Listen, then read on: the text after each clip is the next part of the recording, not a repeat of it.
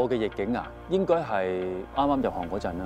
嗰陣時好多人都話我做唔到主角嘅，做主角全部都係演一啲正派嘅角色咯。而當時我大部分都係殺人放火，甚至乎一啲變態殺手嘅角色啊，點樣做主角咧咁？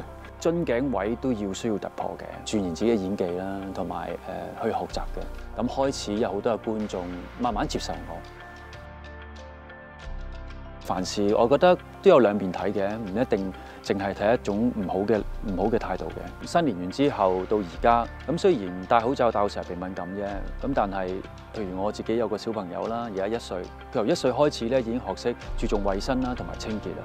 咁呢啲嘢係真係因為呢個階段而佢會學得到更加叻咯。所以香港人係叻嘅。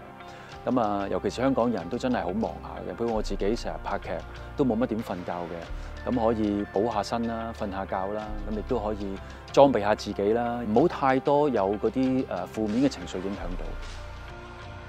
其實我覺得逆境嘅時候咧，就最好檢視自己嘅實力，同埋令到自己進步嘅最好機會。好似我哋之前經歷過沙士咁樣，香港人對呢個防疫意識會做得更加好、更加強。所以我相信經歷過今次嘅疫症之後，香港人一樣會進化。会变得更加团结、更加强大。